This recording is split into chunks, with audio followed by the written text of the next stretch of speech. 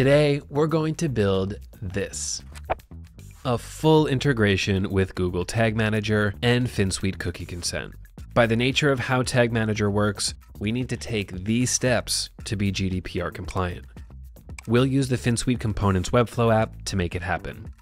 This video is a step-by-step tutorial on how to build this Google Tag Manager integration. Let's do it. Effing sweet. Let's learn how to configure Google Tag Manager with Finsweet Cookie Consent. Only do this setup if you're using Google Tag Manager to manage your third-party scripts. If you're not, ignore this video. The first thing we have to do to be GDPR compliant is remove this no script tag from Google Tag Manager. No script tags are not compliant with cookie consent regulations, so I'll remove this no script.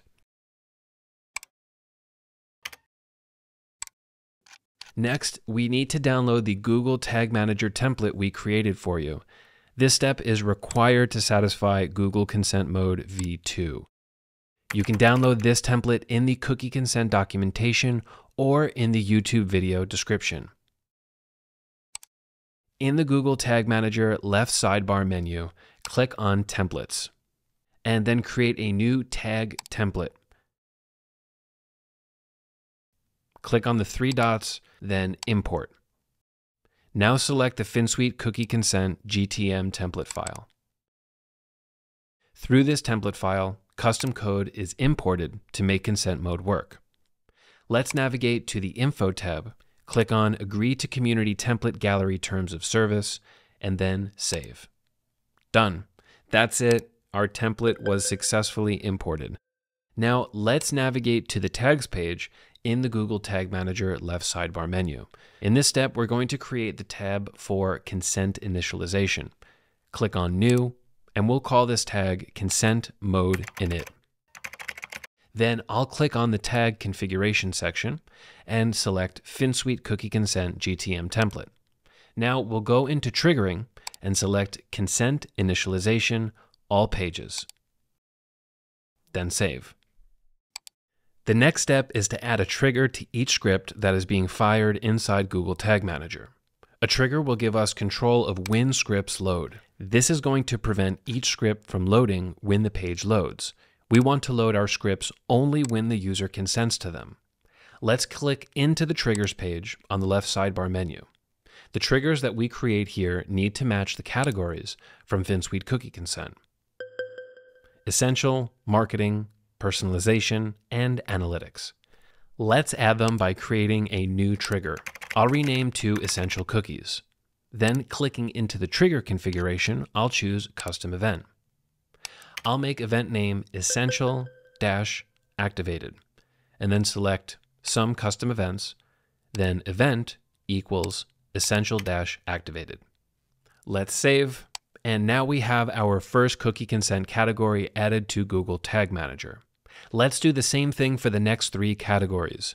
It's the same steps we just followed, so I'll go through these steps quickly. Now let's create the marketing category. I'll name this marketing cookies. Click on trigger configuration, custom event, name it marketing dash activated. This trigger fires on some custom events. And same as before, event equals marketing dash activated. Next is personalization with the name of personalization cookies.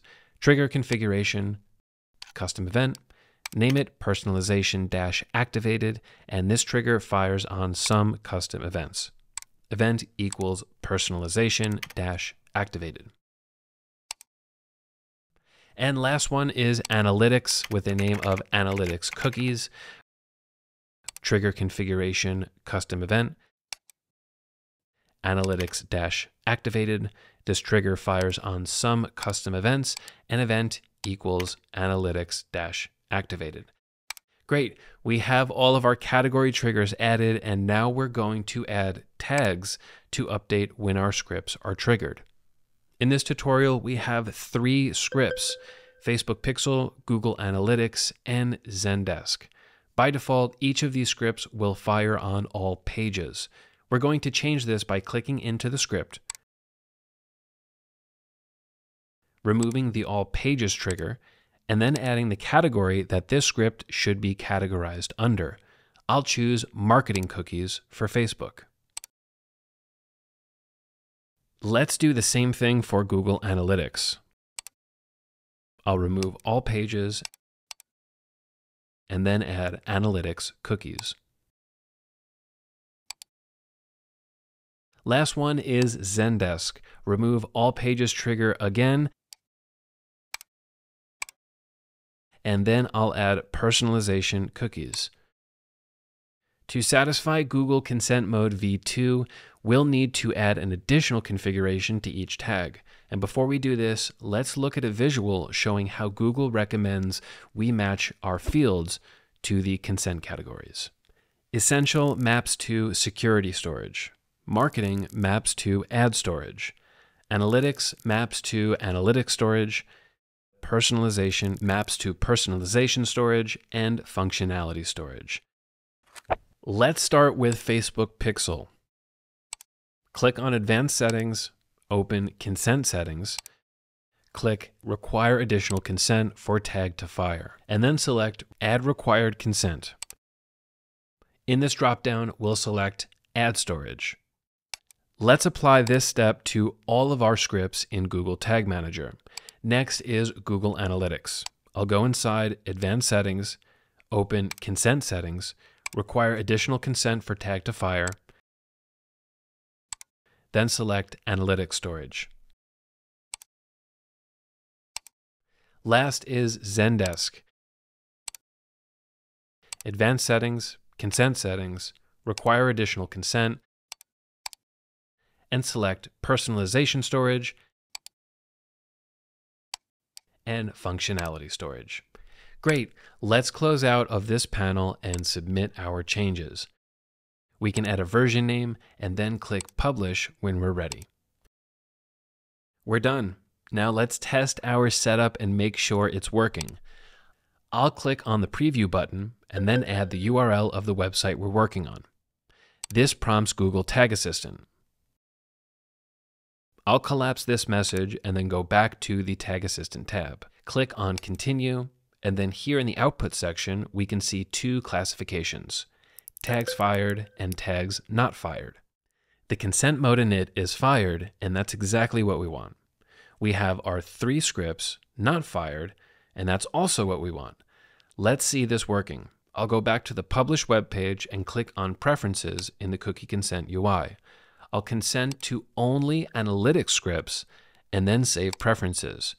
Now, if I go back to Tag Assistant, we'll see that now Google Analytics tag is fired. Great.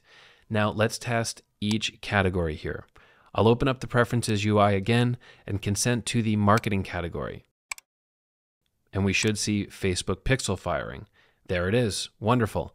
Now let's consent to the Personalization category. And as expected, we can see Zendesk firing. Perfect. Since everything is tested and working, I'll go back to the Finsweet Components Webflow app and confirm that GTM setup is done. That's it. You did it. You now have Google Tag Manager working flawlessly with Finsweet Cookie Consent. Finsweet Components is always free with your Webflow.io staging domain. We'll never charge you to test and build your components. When you're ready to go live, get a subscription to Publish to Production. You are one step closer to building next level components inside your Webflow project. You can download Finsweet components in the Webflow Apps Marketplace, and those links are in the description below. Go to finsweet.com slash components to learn how we can help you succeed with Webflow. If you like this video, give it a thumbs up Subscribe to our channel if you want to learn more about how to build awesome websites in Webflow.